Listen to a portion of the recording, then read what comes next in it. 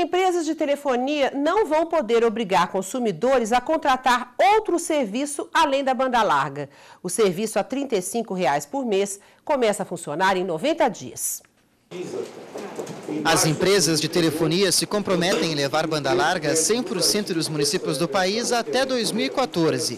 Em cidades pequenas, a venda poderá ocorrer no atacado para prefeituras ou pequenos comércios. Pelos cálculos que nós fizemos, significam mais ou menos 30% a menos do que é praticado hoje. Ou seja, vai cair pelo menos 30% no atacado o preço da internet a partir desse termo.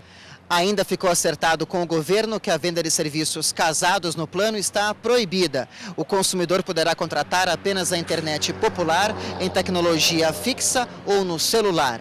O serviço também não pode ser interrompido. Caso o usuário exceda o limite mensal de tráfego de dados de 1 megabits, a empresa poderá, no máximo, reduzir a velocidade de conexão.